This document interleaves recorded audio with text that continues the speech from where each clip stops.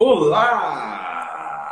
Você aí de casa, você aí assistindo na prancheta. Sim, esse é o Na Prancheta. Ah, mas o Gabriel de novo apresentando. Pois é, cá estou eu de novo, mas agora o Eric está aqui. Só que está tá no, no, chinelinho. Hoje está só no carona. Não, tá é, não, é, não é tá chinelinho dessa vez. o jogo do Cuiabá, né? Cuiabá, então aí ele tá, ficou de carona hoje. Esquece isso, esquece isso. Mas hoje quem está no comando sou eu, sou eu. Prazer, Gabriel, tá? Boa noite, senhores. Boa noite, seu Léo. Como vai o senhor? Tudo bom? Boa noite, é uma honra estar aqui na presença dos senhores. É, eu queria dizer que, primeiramente, eu peço desculpas pela minha voz. No último fim de semana eu tive uma, uma crise aí, fiquei muito resfriado, com a garganta inflamada, e aos poucos estou me recuperando. Por um lado foi bom, porque eu consegui assistir os jogos aí, né, dessa rodada e outros eventos esportivos também. E hoje estou aqui comentando aqui com vocês. Boa, Léo. Então já manda logo o teu destaque do dia, da semana. Cara, essa semana tiveram vários eventos importantes, né? Sim. Em relação aos esportes. Mas eu vou destacar é, a vitória em Wimbledon do, do nosso Sérgio Novak Djokovic. É o 21 Grande Slam vencido pelo, pelo Djokovic, e o sétimo em Wimbledon. Então, assim, é um, é um cara que, é, na história né, do tênis, ele já, já ocupa ali as primeiras posições sem dúvida nenhuma. É um grande jogador e meu destaque da semana vai para ele. Boa, e também falando em tênis ainda, o... é a primeira vez que o Roger Federer fica abaixo do 25 é... posição, né, cara? Pois é, tem isso também. E o é Djokovic ultrapassou o Roger Federer em número de grandes lãs e está a um, um torneio de Wimbledon de igualar o Federer, né? Pô, o Djokovic é, é foda. Pena que agora tá ficando meio maluco, né? Mas tudo bem. Não. É Não gosta de tomar vacina, enfim. É, meio, tá, meio, tá meio louco. E aí, seu Eric, boa noite, como vai o senhor? Tudo bom? Opa, boa noite, tudo certo. Só você pra me tirar da minha licença, hein? Ué, Faz parte do negócio, né? Faz parte, faz parte. E aí, teu destaque da semana? Bom, não vai ser diferente. Vou falar de Fórmula 1. Esse final de semana foi o GP da Áustria, né? Red Bull jogando teoricamente em casa, né? A Red Bull é austríaca. E aí tava lá tudo pintado de laranja por causa do Verstappen holandês. Todo mundo achou que ele foi pole, ganhou a corrida sprint, mas não levou a corrida. Na corrida, realmente, o Leclerc estava muito rápido aquele dia e não teve jeito. Mais um destaque por, por Hamilton. Mais uma vez, uma, uma chegou no pódio aí depois de tá tendo dificuldade com o carro para acertar o carro, mas já tinha sido o terceiro em Silverstone e agora mais uma vez no GP da Áustria. Boa! O Ué. meu destaque. Fala, não. Não, só para destacar também essa vitória do, do Leclerc. Uhum. Depois do carro da Fórmula 1 dá diversos problemas diversas e diversas vezes, né? Sim deixando o Leclerc na mão. O Leclerc fazia treinos bons, né? É, foi pole várias vezes e o carro deixando ele na mão durante a corrida dessa conseguiu vencer. É, até no caso do Sainz, o carro deixou na mão dele, assim, o carro pegou fogo do Sainz, né? Que é o parceiro de equipe do Leclerc. O hum. próprio carro do Leclerc deu problema no final ali, só que ele conseguiu manter e, e ganhar a corrida ainda. Boa! O meu destaque vai também para a Fórmula 1, mas de uma maneira mais ruim, né? Ou boa, dependendo do ponto de vista. Né? Nelson Piquet foi finalmente foi alertado pela justiça que ele vai ter 15 dias para se retratar com o Hamilton daquelas falas ridículas dele, racistas homofóbicas. O cara é tricampeão de Fórmula 1, maluco. O cara tinha tudo para ficar quietinho na dele, curtindo a onda de ser um dos maiores pilotos de Fórmula 1 do mundo, mas não tem que falar merda. É, mas eu, ele já tinha caso de falas que não foram, não tem muitos fãs nesse sentido. E é. também ele pediu desculpa, mas ao mesmo tempo ele diz que ele não é aquela desculpa que não quer realmente se desculpar, então enfim. Ele dá, dá, aquela passada de pano para ele mesmo, né? Exatamente. E eu vi recentemente o Roda Viva com o Ayrton Senna, e aí um repórter pergunta para ele: "O que, que você acha do e o Senna fala, olha, ele como profissional é excelente, com todas as qualidades profissionais do Piquet, mas como pessoa não, não me desce. Isso lá nos não. anos 80. Então o Lem... Piquet já é bem visto. E a questão começou por uma entrevista que ele deu em dezembro de 2021, falando sobre um incidente entre o Verstappen e o Hamilton. Lembrando que o Verstappen é genro do Piquet. Só para então, quer dizer, ele estava defendendo teoricamente a família, mas não precisava disso, né? Precisava disso, né? Vamos começar falando do Brasileirão. Boa. É, primeiro jogo, acho que é o jogo mais importante dessa rodada em termos de, sei lá, história, talvez, do Campeonato Brasileiro. Fluminense 2, Ceará 1. Nosso Federico Guedes se aposentou finalmente. É, vai levar consigo a camisa 9 do Fluminense para a eternidade. Mas, falando de jogo, Fluminense venceu o Ceará com uma certa tranquilidade no Maraca, não, Eric? É, foi. Na realidade, o Diniz ele tem ele fez esse time jogar, né? E não teve jeito, teve. Não sou tricolor, mas eu sou fã do Cano, não tem que falar. Mais um gol do Cano. Mas o destaque vai realmente para a despedida do Fred, né, cara? Como eu falei aqui na semana passada, pô, o cara não tem como, é o maior artilheiro da história do Brasileirão dos pontos corridos, segundo maior artilheiro da história do Brasileirão, é a maior artilheiro da Copa do Brasil, então assim, o cara realmente merece. Faltou aquele golzinho? Faltou, mas tá tudo bem, ele fez o último gol dele na semana passada. É, e assim, mas em si, no jogo, o time do Fluminense foi superior, atacou muito mais que o Ceará. O Ceará fez o gol já nos acréscimos, é aquele gol que não tem como correr atrás. E assim, esse time do Fluminense se botou diretamente na briga para os três primeiros e até pela liderança, se você parar para pensar aí, de acordo uhum. com a uhum. pontuação. Então, assim, vamos ver como esse Fluminense vai se, se, continuar no campeonato. Tô animado. Será que dessa vez o Diniz vai? Vamos ver. E, aí, Léo, será que dessa vez o Diniz vai? Cara, então, se a gente é, fizer um pensamento aqui rápido, né? Uhum. É, é, difícil a gente encontrar outro time brasileiro que está jogando atualmente, tá? Eu digo nesse momento, um futebol melhor que o Fluminense. O Fluminense vem desempenhando muito bem, cara, dentro de campo. Né? E em relação ao jogo do último sábado, é, por, eu, eu acredito que por ser um jogo comemorativo, é, os jogadores estavam muito nervosos. Eu acho que o Fluminense ficou um pouco a desejar. Inclusive, o Fábio fez ali umas duas, três defesas bem, bem, difíceis, né? O Fábio é. foi bem exigido durante o jogo. Mas o time do Fluminense está jogando muito bem, cara. Tá jogando muito bem mesmo. Na minha opinião, nesse momento, dia 11 de julho, é o, é o melhor time do, do futebol brasileiro. Que joga o melhor futebol, né, no caso. Então se junta ao PVC. O Léo se junta ao PVC com a mesma opinião. É que, né? é que é diferente da gente falar na semana passada, a gente estava falando. É que jogar o futebol e ser o melhor time, não necessariamente é a mesma coisa, mas as pessoas confundem isso. Sim, coisas bem distintas. Porque se a gente para para pensar, ah, o Palmeiras é o líder e tudo mais, mas de, de desempenho, de tentar mostrar algo diferente. É, para mim, o Fluminense é o que, que mais vem encantando. E sobre essa busca aí pela briga no G4 e talvez por um título, é difícil a gente cravar porque tem mais de, um, de metade do campeonato ainda pela frente. Mas é. o Fluminense, se continuar nessa pegada, fatalmente vai conseguir uma vaga na Libertadores, talvez até direta mesmo. Boa, boa. E aí, Eric, mais alguma coisa para falar desse jogo? Não, não, só parabenizar o Fred mesmo pela carreira. Enfim, Parabéns ao Fred, que tá sempre assistindo a gente aí toda terça-feira lá no. é, e o Fred depois poderia ser um destaque fácil, né, cara, também da, do nosso início aí de programa. Eu fiquei Sim. na dúvida, falei, pô, alguém talvez acho que vai comentar. Não, esse início de programa já é o destaque para ele todo, tá ótimo. É, é isso aí, é isso aí. Fred tem seu lugar marcado agora também. Depois do jogo foram várias homenagens para ele. Está eternizado lá na calçada da fama do Maracanã. Então, todo, todos os méritos ao Fred. Para Corinthians 1, Flamengo 0, gol contra do Rodinei, mas que também marcou. marcou isso é maravilhoso, né? Só o Campeonato Brasileiro para nos proporcionar uma vitória do Corinthians sobre o Flamengo com um gol contra de Rodinei. Isso é maravilhoso, isso é lindo puro suco de futebol brasileiro 2022.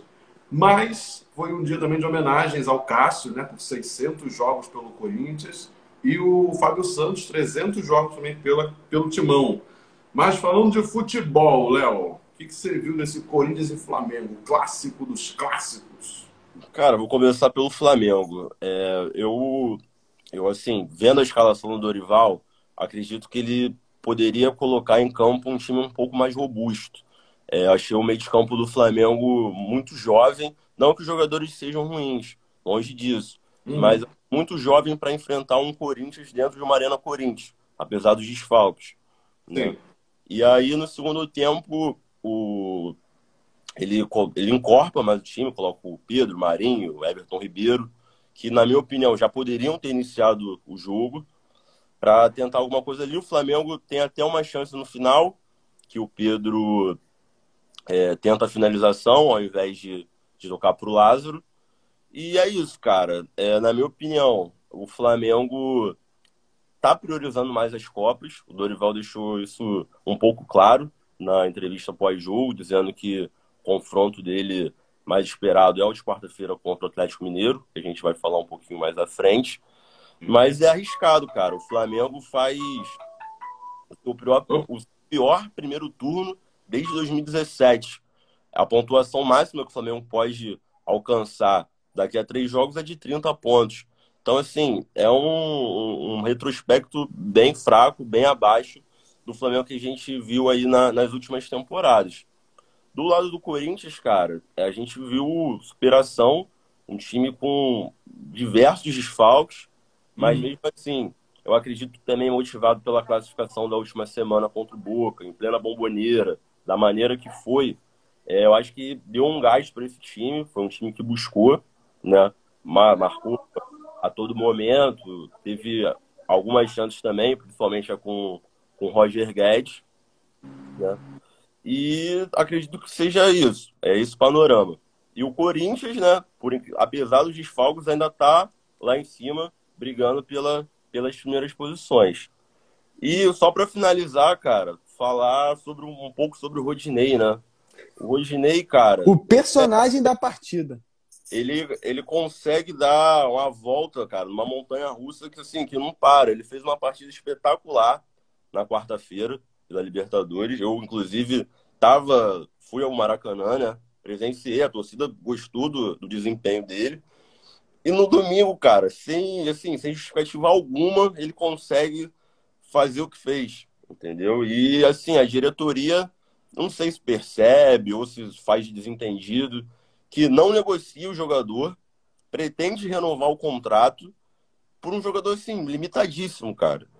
É complicado. É um jogador que, que vai do céu ao inferno em questão de ó, segundos. Pois é. Uhum. Eric, o Léo falou sobre a briga pela liderança. Você acha que o Corinthians vai passar o Palmeiras? Então, não acredito muito nisso não, assim, ainda mais foi o que ele falou, é que muita questão, é muita, muita competição acontecendo, o time do Corinthians tem um elenco um pouco mais envelhecido, também um pouco mais curto. Hoje ele falando em, a gente falou sobre semana passada sobre contratação, ele trocou dois jogadores, né? O próprio Mantuan, que é um jogador que joga em várias posições, o cara faz lateral, o cara faz meia, faz atacante, faz volante, e agora para trazer o Alberto, quer dizer, ele perdeu um cara que é muito polivalente, né, em prol de um jogador que a gente acredita que pode resolver o problema na frente do Corinthians. Mas em si, sobre, sobre a partida, cara, eu, eu acho o time do Flamengo um pouco superior ao time do Corinthians em alguns momentos do jogo. O próprio Castro fez uma defesa no chute do Vitinho no início do jogo. Muito boa defesa, né? E, pô, são 600 jogos salvando o Corinthians. Eu não entendo, às vezes, essa. Eu entendo que o goleiro pode falhar, mas essa perseguição que a torcida do Corinthians tem em cima do Cássio eu acho muito bizarro, mas cada um sabe do seu time. É, e assim, eu acho que eu concordo com ele nesse sentido. É, ele usou muitos garotos, claro que a gente pode, dentro de campo, Vitor Hugo e Matheus França, pode não ter sido tão mal, mas é uma partida muito complicada. É, é um dos clássicos do futebol brasileiro. Então, assim, será que foi a melhor opção? Será que está se resguardando para o jogo de quarta-feira?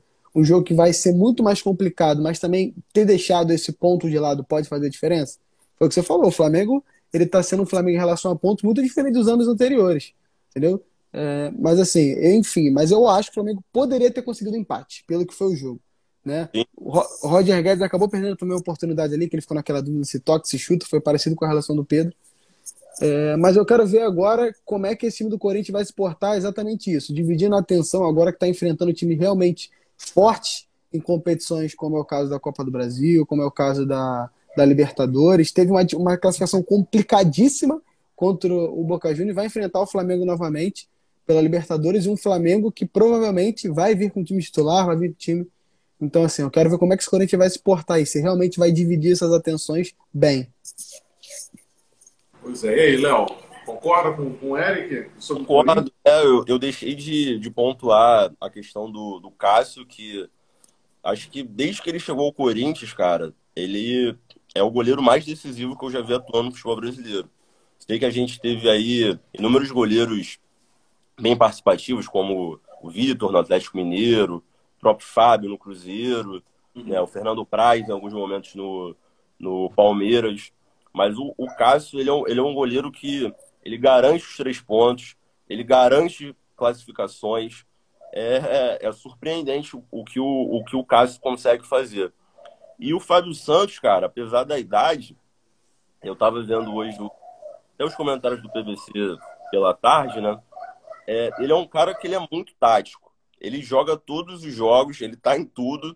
É, além da preparação física dele, que é, que é exemplar, ele é um jogador muito tático, muito, muito bom, muito eficiente. Então é merecida, é justa a homenagem para os dois. E, e, e, o Corinthians consegue mesclar né, essa experiência com alguns jovens talentos que também estão é, surgindo aí.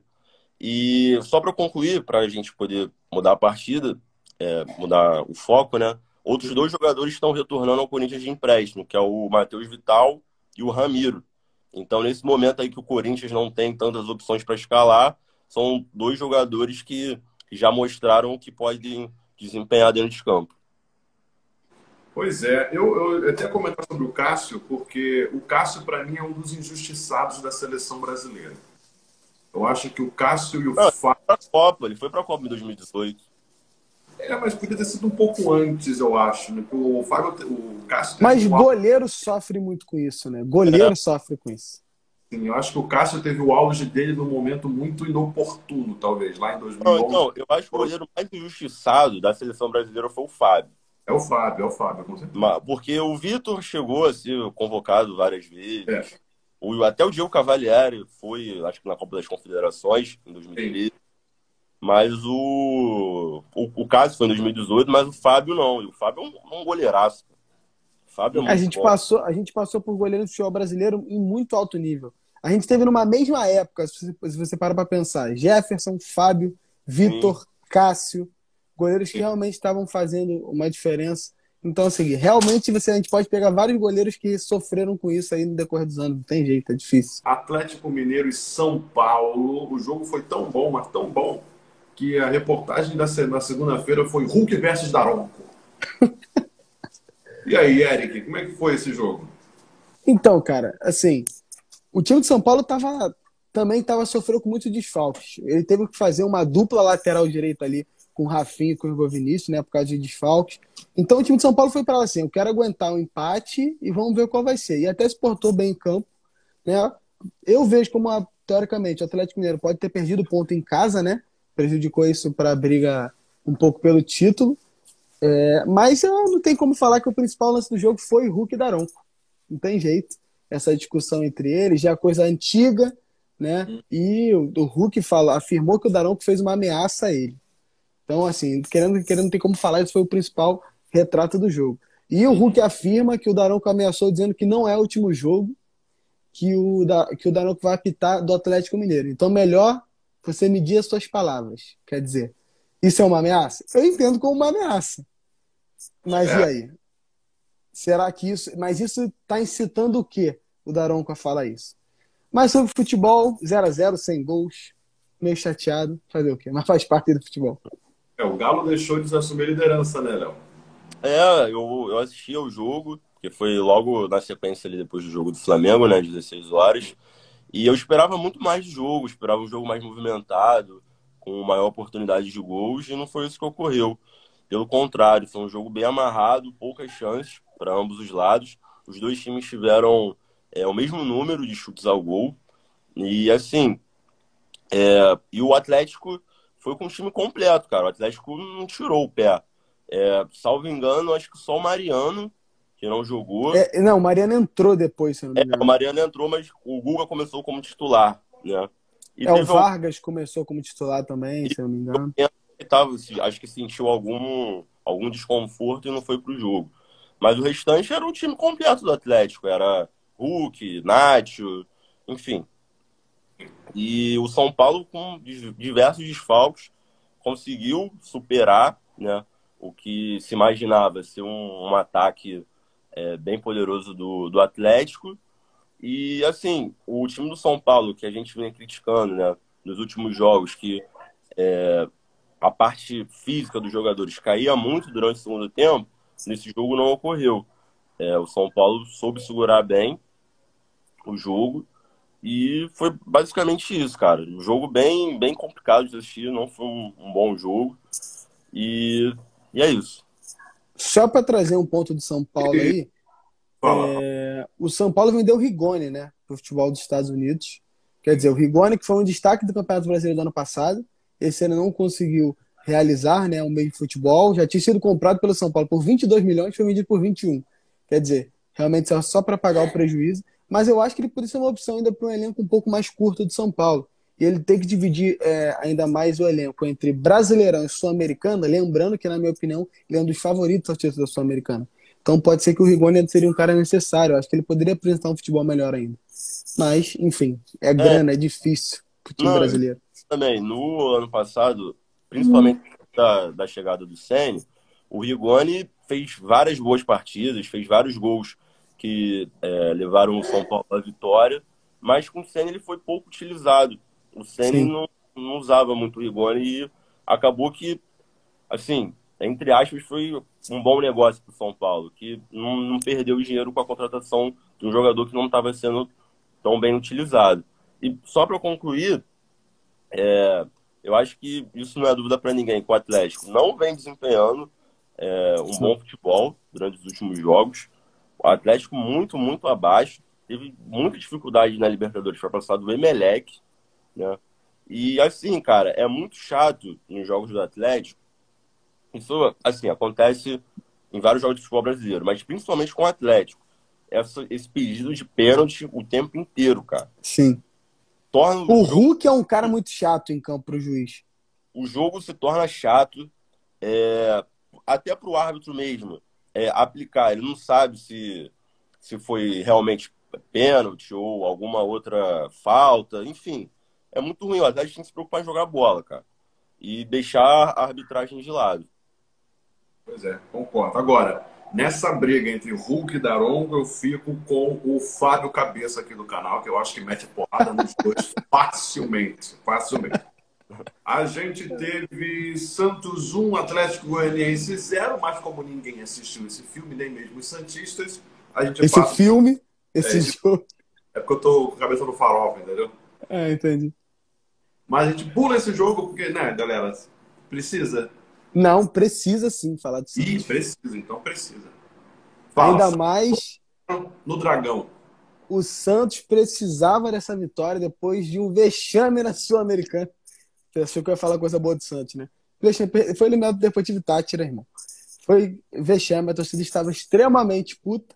Precisou dessa vitória para poder se afastar um pouco da zona de rebaixamento, se botar ali no bolo ali de Flamengo, Botafogo, que chegou a 22 pontos, está em oitavo colocado. Mas, assim, é... a questão é que o Santos está passando por um momento conturbado, mas, assim, impressionantemente conturbado. A gente está falando de Edu da Sena, que foi mandado, pediu demissão antes de ser mandado embora. está falando de Fabian Bustos, lá, que é o, o ex-treinador. É, a gente está falando de Ricardo Goulart, que provavelmente vai rescindir o contrato, que veio como a maior contratação da, te, da, da temporada inteira. Então, quer dizer, será que esse time do Santos vai começar a sentir isso dentro de campo? E a gente tinha falado no início, será que Santos ia brigar para não cair. Caiu muito, muito de futebol agora. Jogou contra o Atlético Goianiense, que não foi um jogo fácil, né? Mas enfim, eu quero deixar só essa pergunta aí para você, Santista. É, o Santos que vinha de três jogos sem vencer no Campeonato Brasileiro, né? Dois empates e uma derrota, agora venceu o Dragão, que segue amargando lá a zona de rebaixamento com seus três jogos sem vencer. Léo, e aí? Exatamente. Cara, eu vou. Não, então, eu até quando a gente estava organizando a pauta, né, eu deixei bem claro que eu não, não assisti esse jogo e a gente podia até pular. Mas dá para pegar esse gancho, cara, para falar de um jogo que foi importante, que foi o jogo entre Goiás e Atlético Paranaense. Caindo Sim. em vencibilidade do, do Filipão no comando do Atlético, né? E assim, o Filipão, que havia poupado na semana passada contra o Palmeiras e venceu em São Paulo, Dessa vez ele foi com o time titular e perdeu para o Goiás. Então, o Atlético continua é, vivo nas competições e tudo mais, mas a gente começa a ficar ligado aí no, aonde esse time pode chegar. Já não fez um, um bom jogo no meio da semana pela Libertadores, conseguiu um empate no, no final da partida e perdeu agora para o Goiás. Então, vamos, vamos acompanhar aí o, o trabalho do senhor Luiz Felipe Scolari. Pois é, seu bigodão. Já matamos dois jogos rapidinho, viu? Pois é, beleza. Fortaleza 0, Palmeiras 0, jogo do apagão. E aí, Léo? Ficou tudo Cara, escuro Palmeiras? Então, foi um jogo também muito ruim tecnicamente, mas eu acredito que seja mais por conta do gramado, né? Aquele é... gramado é muito ruim, misericórdia. O Castelão é bizarro, cara. E assim, atrapalha muito o jogo do, do Voivoda. Porque o Voivoda, assim, mal comparando, né? É, as ideias dele, assim, são semelhantes à do Diniz. É, é um cara que, que gosta de um jogo vistoso, gosta de uma saída de bola. E com o gramado do Castelão fica difícil. E talvez esse seja o motivo até do, do Fortaleza estar tá na posição que, que se encontra, né? Fortaleza é esse que, pô, fez vários bons jogos. Quando pegou gramados bons, como. Venceu o Flamengo no Maracanã. Venceu o Flamengo no Maracanã. É, fazia um bom jogo contra o Botafogo, até ter o seu jogador expulso. Então, assim, cara, é, é muito difícil mesmo pro Fortaleza. Eu já até vi alguns comentários, alguns tweets do pessoal falando para a diretoria do Fortaleza ver se leva os jogos para o presidente Vargas, né, que é um estágio ali, é, é, tem uma capacidade menor né, que o Castelão, mas talvez tenha um, um gramado melhor e consiga ser melhor para o próprio time do Fortaleza. Do lado do Palmeiras, cara, é, o Palmeiras, por incrível que pareça, é, não vem desempenhando um bom futebol nesses últimos jogos. Dos últimos nove pontos, o Palmeiras só, só conseguiu dois mas ainda é o líder do campeonato. É, né? falando em Brasileirão, realmente o time do Palmeiras nos últimos jogos. Deu uma. Sim. É, Brasileirão, Brasileirão, né? Não me levem a mal, Brasileirão. então. Mas aí também não teve nenhum time que encostou ou ultrapassou o Palmeiras. O Palmeiras continua sendo líder. Né? Então, é um, um Palmeiras que, é, para que quer ser campeão, não pode per perder dentro de casa como perdeu na semana passada para o Atlético, né? Então, assim, um resultado fora de casa para o Fortaleza, nas condições que foram que foi a partida, eu acredito que seja um resultado normal. Não vejo nada como. Mas o Fortaleza é o último colocado. Pô, mas mesmo assim, Eric, eu acho que a gente não pode se apegar só por, por classificação, cara. Eu acho que a gente tem que, ver, tem que ver o desempenho. O sim, sim. Não é um, um lanterna, pô, bobo, igual foi outros outros times dos campeonatos anteriores, como já foi, sei lá, Joinville, como foi o próprio Botafogo quando caiu, entendeu? Náutico, Náutico enfim, tem vários exemplos. Então, Eric, os outros 19 times da tabela vão continuar seguindo o meu pau? Cara, tá assim, eu acho que sim, né? A minha, a minha grande, o meu grande problema com esse Palmeiras é exatamente ainda isso que eu falo, que é o grande problema do futebol brasileiro, não tem jeito. É dividir o elenco em várias competições. E assim, é, é uma. Eu acredito que seja um objetivo do, do Abel Ferreira, que é o único título que ele não tem no futebol brasileiro, que é o Brasileirão. Porém, ao mesmo tempo, o tricampeonato da Libertadores enche os olhos. E assim, se ele conseguir fazer, por exemplo, levar esses dois títulos e até a Copa do Brasil, porque a gente viu o Flamengo em 2019 sendo campeão brasileiro e ganhando a Libertadores, então a gente sabe que é possível, né? Mas é, ele vai sofrer com isso dentro do próprio elenco dele, ter jogadores que vai se machucar, suspensão, isso não tem jeito, né? E ele vai passar por um gramado como esse, lá do Castelão, absurdo, e vai acabar sofrendo também. Tendo um Fortaleza muito pressionado, agora um Fortaleza que não tem mais a Libertadores, depois de ter sido eliminado para Estudiantes, de uma forma bem foi bem dramática, foi, foi ruim a forma que o Fortaleza foi eliminado. Porém, se no Fortaleza pode ter aí, perante essa eliminação da Libertadores, uma melhora. Né? A gente está falando de uma janela que vai abrir dia 18, a gente está falando de Thiago Galhardo, foi um dos últimos artilheiros do Brasileirão, e Otero, que é um cara que tem uma, uma bola parada muito boa, jogou Atlético Mineiro, Corinthians. Então, vamos ver como eles vão é, completar o elenco do, do Fortaleza e se eles podem sim fazer o Fortaleza chegar a um outro nível e realmente brigar. Quando a gente está falando de Fortaleza que está longe de sair da zona de abaixamento, está falando de três rodadas.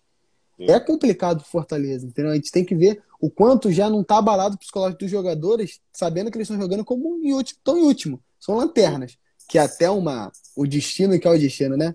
Pagou a luz, o que, que a torcida do, do Fortaleza fez? Ligou a lanterna. Olha que merda. que o que é o destino, não é verdade? O lanterna então... foi, sacaneou com eles. E assim, é, a gente fala, pô, um time, o Fortaleza tá com 11 pontos, né, no, no campeonato.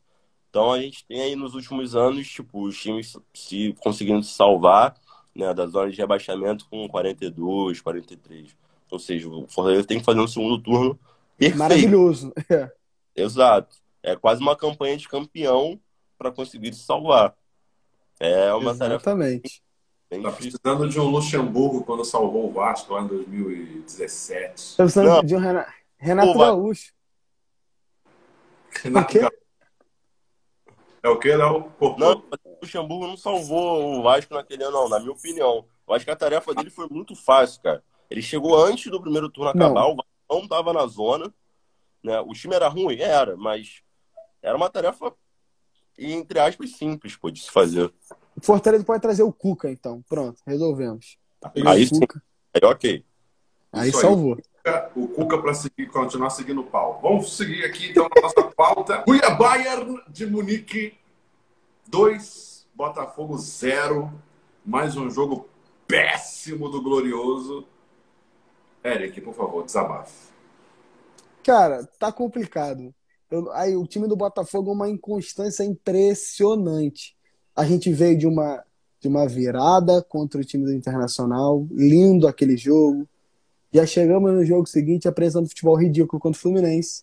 Ganhamos do Bragantino fora de casa, que é um jogo difícil. O Botafogo jogou isso tudo, mas fez 1x0 e ganhou o jogo. Depois chegou contra o Cuiabá e foi mais uma vez mal. E semana passada o Thiago falou que eu tô. É, né, como é que é o nome? Perseguindo o gatito. Eu tô perseguindo porque ele merece. Eu não tô tacando pedra em ninguém, eu não tô xingando a mãe dele, mas se ele merece, sim, as críticas. O Gatito já salvou muito o Botafogo? Já salvou, mas é impressionante o que ele tá apresentando esse ano de instabilidade. Os dois gols ele conseguiu falhar, na minha opinião, nos dois gols do Botafogo. E assim, no Botafogo ele não consegue ser um time constante. Sofre com os desfalques? Sofre com os desfalques. Tudo bem. Mas mesmo assim, o Botafogo é superior time do Cuiabá. Podia ter ganho o jogo. Foi dois jogadores expulsos ontem? Foi dois jogadores expulsos ontem. Mas eu não estou falando só do jogo contra o Cuiabá. Eu tô falando de vários jogos onde o Botafogo tinha que ter ganho e, ou poderia ter empatado, sair com um resultado melhor e não apresentou isso. A torcida do Botafogo espera aí dia 18 essa janela abrir, com N contratações especuladas, tendo jogador, só dois jogadores acertados, três jogadores acertados até agora. Né? Então a gente espera que essa janela abra e que vá atrás de reserva para o Gatito, que tá difícil. John, vamos lá, hein? Reserva para o Gatito. Não, inglês, inglês, para ele, inglês. É isso aí. e aí, Léo? Come on, come on. Pronto. Cara, eu assino embaixo. Putfire, o Putfire, cai ou não cai o Putfire? Cara, então, o Botafogo, assim, muito desencontrado dentro de campo, né? Nitidamente ali os jogadores se esbarrando, enfim, foi, foi um espetáculo. O Gatito chutou a bola na cara do Cuesta. Assim, horrível, horrível. E o Gatito, cara, nos dois gols, para mim, ele pô, falha claramente. Eu acho que no segundo, principalmente, mas no primeiro também ele deixou muito a desejar, né? Pô, espalmou a bola quase que para dentro da área. E, na minha opinião, fácil a bola. Na minha sim, opinião. Sim, o chute não foi, a finalização não foi forte. É. É. Mas, assim, é um Botafogo muito inconstante, também, como o Eric ressaltou bem. É, pô, veio de uma vitória agora contra o Bragantino fora de casa. Então, quando a gente imagina que o Botafogo vai, pelo menos, manter ali a pegada, vai tudo, desmorona tudo novamente. Né? E, e outra, cara, eu acho que o mais doloroso também foi perder da maneira que perdeu pro América Mineiro, de 3 a 0 na Copa do Brasil. Que o jogo, o jogo de volta essa semana, já, Eric, ou é na outra? É, quinta-feira, essa semana, quinta-feira. Vou estar tá lá. Ó, que merda. É, vai ser outra, outra tarefa, assim, muito dolorosa, cara. E a expectativa que o Botafogo se classifique também é muito pequena. Mas por causa disso, por causa desses desencontros. Porque, assim, é, o, o Botafogo jogando fora de casa, com, com os desfalques que tem, pô, dá um, tenta dar uma segurada, tenta dar uma cadenciada no jogo, mas nem isso tem, não consegue ter uma proposta definida. E aí acaba ficando muito difícil. E a chance era que o Botafogo é um dos maiores visitantes do campeonato. Não sei se é o segundo, mas uhum. eu acho que, mas é um dos ótimos visitantes. Então o Botafogo tem apresentar dificuldade em casa, mas fora de casa vinha bem. Eu falei, pô, contra o Cuiabá, tem a chance de ganhar o jogo, vamos chegar com confiança pro América. Aí acontece o que acontece, quer dizer, quase que eu vendi meu ingresso nessa porra. E agora o Cuiabá segue na cola do Botafogo ali, né? Dois pontinhos atrás do Botafogo e com duas vitórias seguidas. É, e, e consegue sair da zona de rebaixamento, né? Pois é, empurrou o Ceará lá para dentro junto com seu coleguinha Fortaleza. E agora vamos para a Série B, onde estará o Botafogo ano que vem. E só para pegar o sacanagem, sacanagem.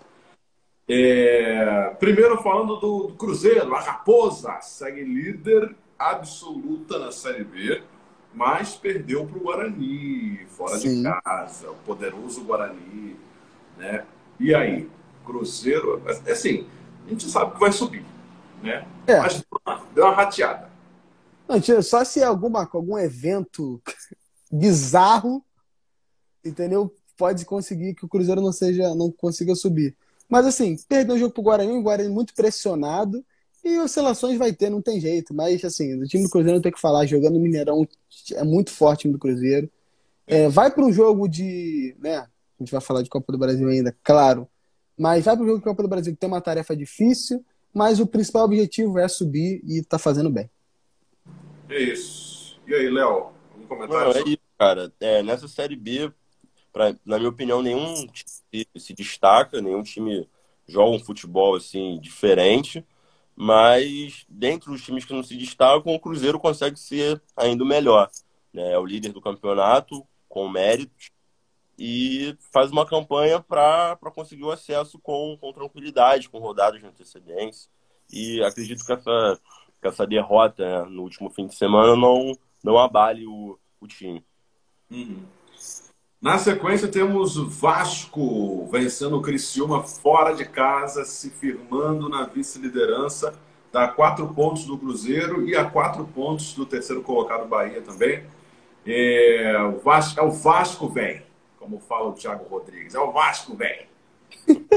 E, enfim, mais uma vez salvou o Vasco, né? O Thiago Rodrigues. É o Batman da colina, não é verdade? A volta dos dinossauros. Vasco também já subiu, né? É. Eu acredito que o Vasco também deve conseguir Cara, classificar. Eu não consigo cravar ainda que ninguém. Ih, cara. Mas assim, claro, o Vasco é favorito para conseguir o acesso. Mas, mas o Vasco tá fazendo uma coisa que, irmão, ele pode não jogar bem, mas ele ganha os jogos. Sim, então, Entendeu? isso que eu ia falar. É, nessa Série B, cara, eu Crucial. acho que mais da metade dos jogos do Vasco e todo, assim, a maioria dos jogos é o mesmo repertório. Né? É, a gente já sabe o que vai acontecer. No jogo contra o Criciúma não foi tão diferente. Vasco, mais um jogo sem o Nenê. Né? Já não havia jogado contra o Sport no, no último domingo. Então, assim, o meio de campo do Vasco perde muito a criação. Mas o Vasco tem um jogador interessantíssimo, cara, que é o Andrei Santos. É meio um... campo. Meio campo que é o mais Barcelona tá interessado no cara, hein? Não, é um ótimo jogador. Gosto muito dele. E tem como diferencial os dois, os dois extremos, né? Como fala no professor Tite, que é o, o Figueiredo e o Gabriel Peck.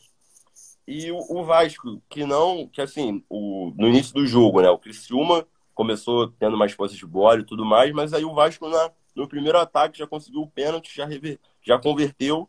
E aí, cara, esquece. É muito difícil fazer é o gol. É como se o jogo tivesse acabado ali é muito difícil fazer gol no Vasco. Além de ter um bom, um bom, um bom goleiro, é... o sistema defensivo do Vasco é muito bom, cara. Diferente Se encontrou. do passado, que, pô, tinha ali um monte de buraco com Zeca, com Hernando, com Léo Matos. Dessa vez é diferente, é, joga muito mais compacto. E o Maurício Souza, assim, não, não inventou nada. Tá seguindo o trabalho do Zé Ricardo, fazendo ali o feijão com arroz e se continuar assim, é bem possível que consiga o acesso. E assim, uma zaga do Vasco. Fez merda, né? Oi? É o quê? Quando ele não seguiu o trabalho do Zé Ricardo, deu merda. Perdeu. É, o... é, gigante no time. Não, e assim, essa zaga do Vasco é uma zaga de Série B, irmão. Os caras batem até na mãe, mas é, é assim que é Série B. Quinteiro Anderson Conceição, meu amigo, tá certo. Cada cajadada é uma minhoca. Isso aí. E, e Série B é pior do que Libertadores, hein? Eu diria. Gramados, então, ainda. É, o Vasco volta a campo no próximo sábado contra o Sampaio Corrêa, fora de casa, às quatro e meia da tarde. Eu esqueci de falar do Cruzeiro. O Cruzeiro volta a campo no domingo, quatro da tarde, um horário maravilhoso para ter futebol, jogando em casa contra o Novo Horizontino. E pra lá, Série B, lá vem vitória. Lá vem vitória. Para fechar a Série B, nós temos Grêmio, que bateu o Náutico em casa e também abriu quatro pontos do quinto colocado esporte. Está se consolidando, hein? O Grêmio está se tá. consolidando. Foi assim, aparente, por enquanto a Série B é os quatro meses que a gente esperava. O Grêmio é o que demorou mais a engrenar, né? Mas aparentemente Oscilou. o Grêmio. É o quê? Oscilou muito o Grêmio. Ah, até... oscilou muito, oscilou muito. Mas assim, tá mostrando que aparentemente vai conseguir subir aí.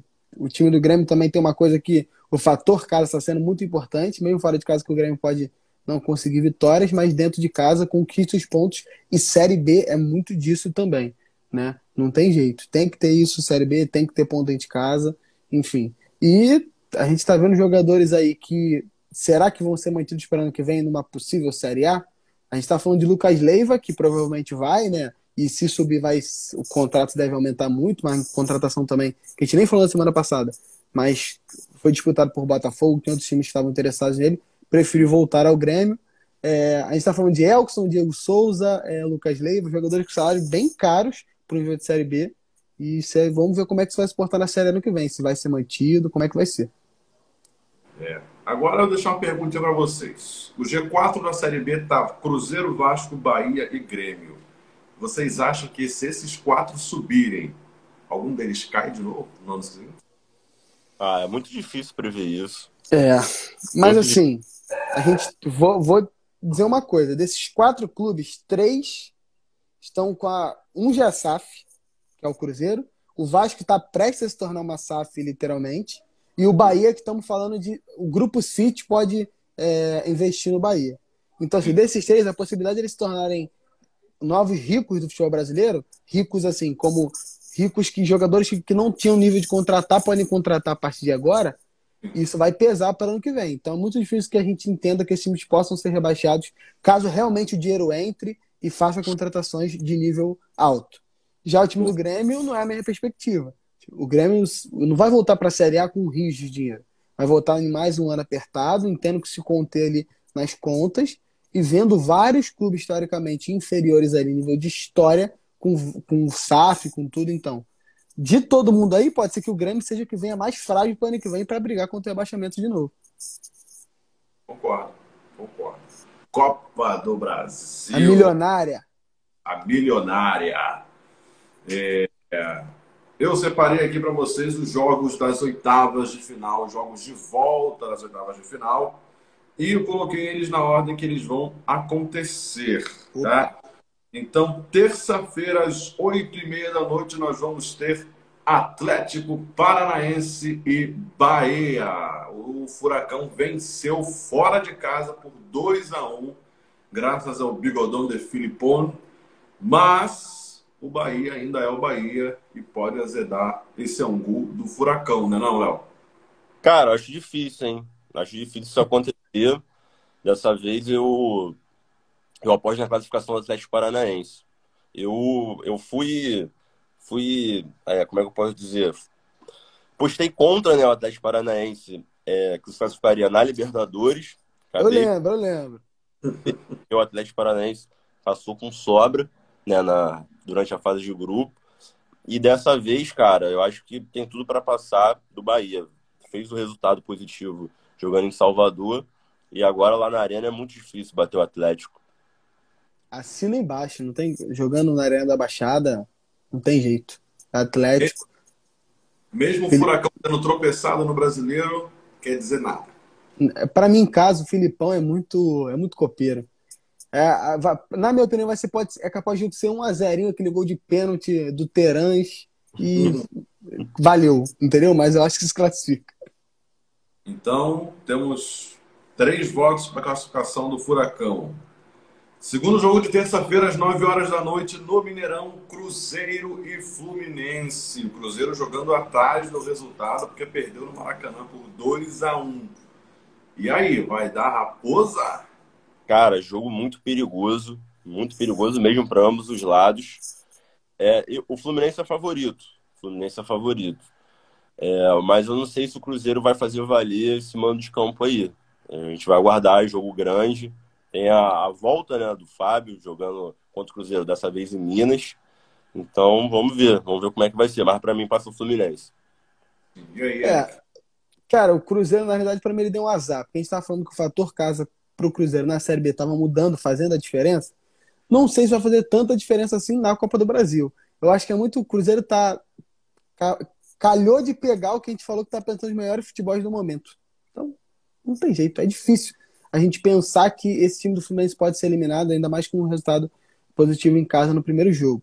Né? Mas, claro que tudo é tudo, né? Futebol é futebol, porém, eu também, se eu fosse se eu fosse apostar o meu dinheiro, que pode ser que eu aposte, eu votaria no Fluminense. É, e assim, esse jogo, a gente tá falando do Cruzeiro, né? Que é o maior vencedor da Copa do Brasil. Não sei, é. é uma camisa pesadíssima. Então, é difícil apostar contra, né? Mas, na minha opinião, ainda continuo como Fluminense como favorito para ser classificado. Boa, boa. Agora, clássico goiano. Goiás e Atlético Goianiense abrem os jogos da quarta-feira às 19 horas. O primeiro jogo foi 0 a 0 Então tá tudo aberto, né? É. Cara, assim, eu vou apostar no time no, no Goiás. Vou te falar por quê. O Goianiense em si no campeonato. Tá, os dois times Goiânia estão passando por uma situação difícil, né? Mas o, o Goiás vem numa vitória dentro de casa em cima do Atlético, um time que tá brigando lá em cima. O Goianiense já tá. É, já perdeu jogando com o Santos fora de casa. Mas o Jair Ventura, eu, torcedor do Botafogo, conheço, é um cara copeiro querendo querendo. E tá enfrentando um time que, teoricamente, a nível técnico, pode ser um pouco. Eles são equiparáveis. Então, assim, eu acho que por, esse, por essa relação, né? É, eu acho que vai dar Goiás, né? Valendo isso, porque como são dois times goianos, não tem esse lance de jogar em casa tão, né, tão forte isso. Mas, contudo, eu acho que dá Goiás. É, o Goiás vai jogar, vai jogar em casa mesmo, no estádio da Serrinha. é um é, estádio é. bem acanhadinho, né? Bem pequenininho. E aí, Léo? Cara, confronto interessante do, dos times goianos. Difícil, cara, palpitar em classificação, até porque é um, é um clássico, né? Clássico é, é sempre difícil a gente escolher um favorito. Mas se eu pudesse apostar em alguém, eu apostaria no Goiás também. Eu acho que é um time mais preparado. O, como o Eric bem disse, né? O Jair Ventura é um, é um técnico que, que gosta né, desse, desses confrontos de mata-mata. Ele sabe ali arrumar a defesa. Jair Ventura chegou à semifinal de Copa do Brasil com o Corinthians Sim, que sim. tinha sido mal no brasileiro, mas chegou a semi de Copa contra o Corinthians. Ele, então... ele, chegou, ele, foi, ele não foi até a final, não? Naquele ano que Não, foi, não. Foi... Não, foi na semi aquele jogo. Ah, tá. Beleza. Então, assim, pode ser que eu acredito que dê Goiás. Vai dar Goiás. Vai dar Goiás no clássico do equilíbrio. Agora o clássico rei, Ceará e Fortaleza jogando quarta-feira às 8 horas da noite. O Fortaleza venceu no, na Arena Castelão por 2 a 0 Então, para mim, eu acho que o Fortaleza está com o pé nas quartas. Com Cara, isso também. Muito difícil porque é, o Ceará, apesar de ter uma campanha de 100% de aproveitamento na Sul-Americana, no brasileiro a gente sabe que está deixando um pouco a desejar. Então, Sim. assim, eu não sei qual chave que o, que o Ceará vai virar agora nesse confronto do meio da semana. Vai ser o time da Sul-Americana, vai ser o time que está jogando no brasileiro. E essa fase também do Fortaleza, né, cara? Que foi eliminado na semana passada pelos Estudiantes, não vem com um retrospecto bom no brasileiro. Então, eu não sei como que isso vai pesar nesse confronto de quarta-feira. Tivesse que apostar na classificação de alguém, apostando Fortaleza, até porque venceu o primeiro jogo por 2 a 0 Mas eu não sei como é que vai ser esse jogo aí. É, cara, eu dentro disso, assim, a, a vantagem que o Fortaleza acabou criando é, é grande, né? A gente está falando de um clássico, a chance desse segundo jogo ser bem truncado é grande, né? E o time de Ceará não tem apresentado é, também um bom futebol recentemente, perdeu o Dorival Júnior, desde então ainda não se encontrou é, relativo a isso, mas é óbvio, como acabou de falar, clássico, né? Clássico rei, mas vou apostar também no Fortaleza pela vantagem que foi criada. Foi o que eu falei, se a gente tem um jogo de 2 a 2 é, a chance de o Ceará ganhar de 3 a 0 num clássico, né? E sabendo que os dois times estão muito pressionados, eu acho que o Fortaleza não vai querer, ele pode sentir a pressão, claro, mas ele vai ser um time que vai esperar muito. Eu acho, pode ser que mesmo o Voivoda não tendo esse estilo, eu acho que ele vai esperar um pouco mais com medo de levar o gol. Eu acho que vai dar Fortaleza classificado. Então, segundo na prancheta, a Fortaleza está lá. Agora, quarta-feira dos clássicos, os mais clássicos. Nove e meia da noite, nós vamos ter dois jogos. Um já definido, basicamente, e o outro nem tanto. Primeiro a gente vai falar do clássico alvinegro, Santos e Corinthians. 4 a 0 para o Timão no primeiro jogo. Não tem nem o que pensar, eu acho. Não. Cara, você falou quem? Desculpa que cortou. Eric. Ah, tá bom. Então, eu acho que o Santos tem grande. Não é. É uma grande brincadeira. Não é de respeito com a Instituição Santos, pelo amor de Deus.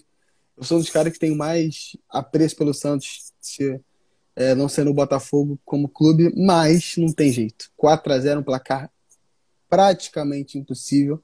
Claro, como a gente fala, futebol é futebol, porém o 4 a 0 do time do Corinthians também é um time que se defende muito bem.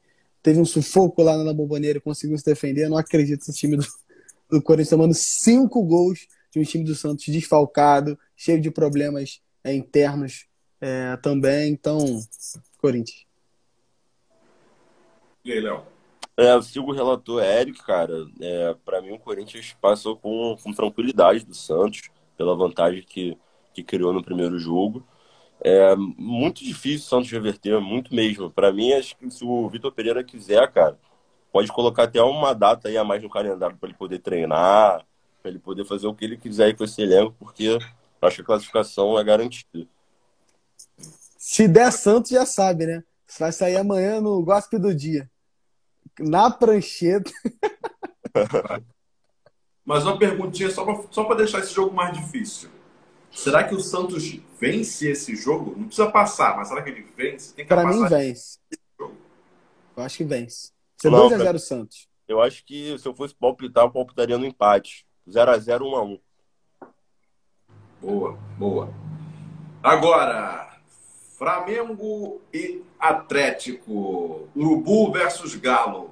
Quarta também, nove e meia da noite. O Galo venceu o Mineirão, 2 a 1 Mas o Flamengo tem a vantagem de jogar em casa, no Maracanã, possivelmente lotado. É. E aí, Léo?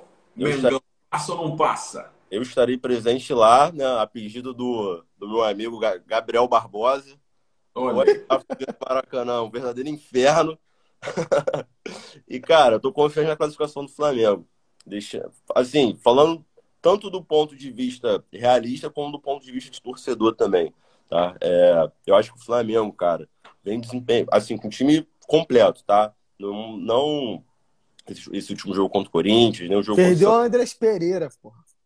Não, mas aí o tá jogando o Thiago Maia, o assim, o Flamengo tá jogando com ali como se fosse uma trinca ali de, de volantes meio campistas, né?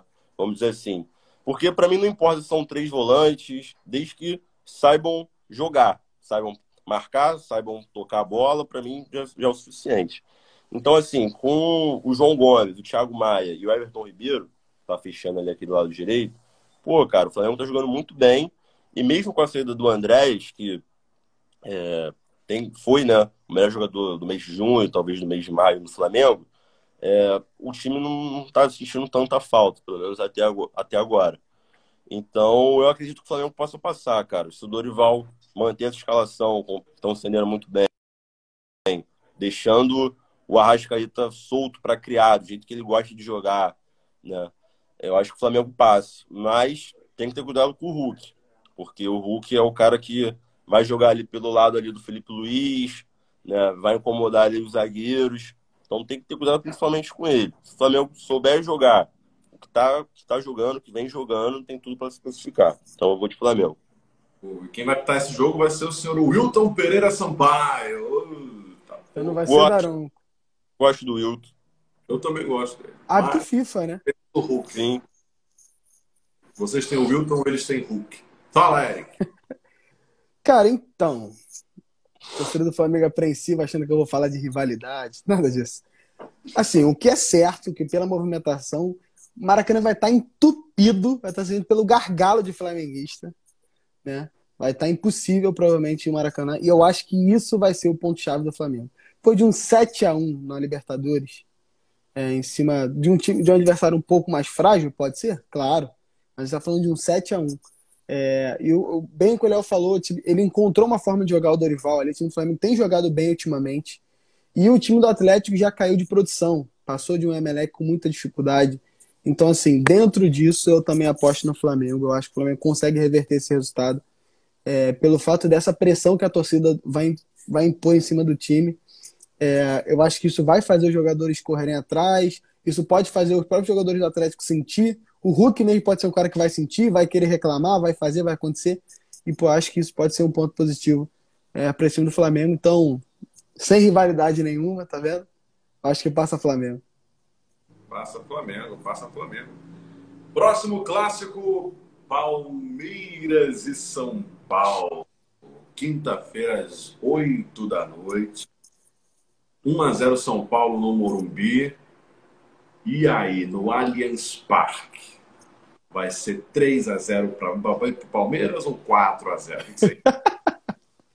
Fala. Cara, sim. Lá na Barra Funda do jogo, né? Allianz Parque. Cara, é complicado porque, vamos lá. Eu sou um fanzaço desse, desse Palmeiras do Abel.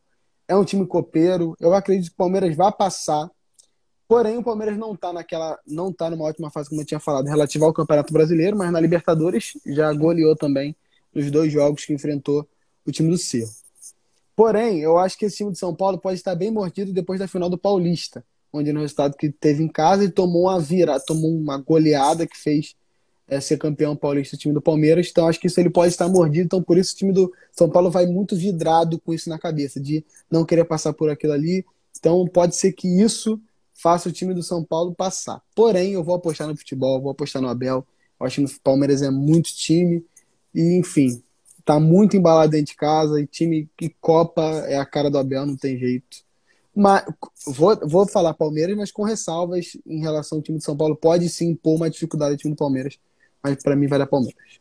É que o Palmeiras também goleou da Libertadores, né? Se é. não me engano, né? Foi, acho que foi 5 5 a 0 não sei agora. É, algo assim. E aí, Léo? O segundo foi São Paulo. Isso. Vamos lá. É, outro confronto também muito difícil. Para mim, esse é o. Atualmente é o mais equilibrado. Né? E eu acho que é, se o, o São Paulo quer se classificar, pretende se classificar, eu acho que vai depender da montagem do Rogério Senni, cara. Porque na final do Paulista, São Paulo conseguiu né, é, a vantagem no primeiro jogo. E o, o São Paulo, quando foi jogar no Allianz, cara, o Rogério Ceni mudou completamente o esquema, foi com uma outra proposta e o resultado a gente sabe como que, que terminou. Então, dessa vez, pro, pro São Paulo conseguir passar, cara, o Rogério Ceni ou vai com o mesmo estilo de jogo ou tenta superar o Abel na estratégia, né? Porque ele não, não pode errar. Por outro lado, é um, o Palmeiras, uma equipe copeira, como o Eric bem falou, acostumado com Copas, acostumado com decisões, é, vem com um time ali, pô, completo, né? Então, difícil cravar, cara. Difícil cravar, mas eu, eu cravaria Palmeiras. Cravaria Palmeiras, mesmo com isso tudo. Mas eu vou. Eu, eu cravo Palmeiras, mas torço pro São Paulo passar, cara. Eu gosto muito desse trabalho do Sene. E. E. Pra, pra rivalizar, né? Pra ter. Pra conseguir essa revanche aí do Paulista, que eu acho que tá engasgado aí pro, o São título Paulo. do São Paulo esse ano já, já tá guardado, que é a Sul-Americana. Fica tranquilo. Ah, não sei não. Dez, an dez anos depois do, do outro título da Sul-Americana, São Paulo vai levar a Sul-Americana. Sei não, cara. Vamos ver. Vamos ver. Paulo é um, é, um, é um time que almeja também, né? Esse título da Copa do Brasil. Porque dos grandes é o único que não tem. É o único que não tem, é verdade. Ué, o Botafogo também não tem, né? É, verdade. Ele falou dos grandes. Falando nisso. Mas chegou à final de Copa do Brasil, porém perdeu. É, é um absurdo. Mas também tem todo aquele histórico, né? Porque antigamente os times que jogavam Libertadores não podiam jogar é. Copa do Brasil e o São Paulo, pô, todo ano. É, Os anos 90 em diante era bizarro o time de São Paulo Copa, é. na Libertadores. Se o São Paulo jogasse a Copa do Brasil na década de 90, início dos anos de 2000, com certeza ganharia ali uma Copa do Brasil. Sim, com certeza. No Choque Rei, então, aqui na prancheta, deu Palmeiras. No outro jogo de quinta-feira, o último jogo das oitavas da Copa do Brasil, nós temos mais um jogo ganho, né? mais um jogo definido. Botafogo 0, América Mineiro 3 no jogo de ida. E agora no Newton Santos, o Botafogo tenta se superar, marcar quatro gols em cima do América. Será que vai dar, Eric? Cara, o Botafogo tá à espera de um milagre. Já viu aquele filme, A Espera de um Milagre? Então, é a realidade é essa. Assim, eu, o que faz o Botafogo se apegar um pouco é exatamente isso. O Botafogo, quando, ele, quando é uma coisa bem difícil, o Botafogo tem superado um pouco e o Botafogo, o Botafogo se apega a isso. Mas é muito difícil. Eu, como eu tô indo ao jogo porque eu sou completamente louco, né? E também ir para o estádio me decepcionar, esse ano eu já fui várias vezes. Eu fui Havaí, eu fui Goiás. O que é mais todos... Exatamente. Todos os jogos que o Botafogo perdeu. Para você ter uma ideia, eu acho que quem dá azar sou eu. Porque eu não consegui no jogo contra o Fortaleza, o Botafogo ganhou. Aí todos os outros jogos eu fui, o Botafogo não ganhou. Juventude empatou, perdeu para Goiás, perdeu para Corinthians, perdeu para Havaí. Não fui contra o São Paulo, o Botafogo também ganhou. Falei, ah, o problema sou eu, né? Descobri essa merda. Mas assim, é, o que a gente pode se apegar é essa dificuldade que o Botafogo tem em jogos fáceis e uma quando ele tem uma versão um pouco mais difícil, ele está se sobressaindo. E eu tô indo exatamente por isso. Se o Botafogo perder, eu vou sair decepcionado, tá tudo bem, não ganhar, nas classificar. Mas eu posso ver também uma coisa histórica se o Botafogo passar. Exatamente. Então, eu tô indo nessa. Como torcedor, não tem como. Eu não consigo falar América Mineiro, desculpa. Eu tenho um compromisso. Com... Mas é difícil falar América Mineiro, mas assim, como torcedor, é difícil. Mas eu acho que dá. Eu acho que dá América Mineiro. eu acho que dá América. E aí, Léo? Cara, o Botafoguense é muito supersticioso, né? Sim. É, então tem que, tem que agarrar nessas superstições, vai com camisa da sorte. Eu tô pensando se eu vou entrar no estádio. Eu tô pensando se eu vou ficar do lado de fora assistindo. É, eu tô pensando. Todo ritual aí, cara, é, é bem-vindo nesse momento para conseguir uma classificação. Mas, se nem essas superstições, esses rituais derem certo, eu acredito na classificação do América Mineiro, cara. A tarefa do Botafogo é muito difícil. Cara, não esqueça essa frase, nem pro mal nem pro bem. Tem coisas que só acontece com o Botafogo. Sim. Então, é. é. É, isso que a gente se agarra, é isso que a gente se agarra. Sim. Tem é. E aí o que vai acontecer quinta-feira vai ser outro 3 a 0 do América Mineiro. Pra gente encerrar. Porra, que, que raiva no coração é essa do Vascaíno? Não tô entendendo isso. É, é isso é amor, é amor. Eu é, amo. Só pode. Só pode. Enfim, Vamos embora então, crianças. Nosso recado foi dado aqui no Na Prancheta. Espero que você tenha curtido o nosso vídeo aqui no YouTube. E uh, vamos deixar então a galera se despedir. Eric, despeça-se. Não das senhoras. É. Muito obrigado, olha aí. Estou agradecendo por ter participado. Eu ia participar de qualquer jeito, então o programa, o programa é meu, mas tudo bem. Agradeço a todo mundo que participou, que mandou a mensagem, que está aí. Não esqueça de se inscrever no canal, curtir o vídeo, compartilhar com seus amigos. Na prancheta, toda vez, segunda-feira à noite no Instagram e terça-feira no YouTube, editado para você. Dar aquela moral que ajuda a gente demais. E aí, Léo? Pô, agradecer também a galera aí que acompanhou a gente, o programa aí do início ao fim, que apesar da minha voz prejudicada, pô, apoiou, deu like, assistiu a gente aí, e é isso, cara. É acompanhar mais uma semana aí de jogos decisivos né? Para na semana que vem a gente estar tá aqui de volta nessa resenha, nesse trabalho aqui bacana que a gente está fazendo aqui semanalmente. Boa, galera, um abraço, mais um, uma honra estar aqui de novo na prancheta e nos vemos não sei quando mais, o calendário tá louco. Então, e valeu! Valeu!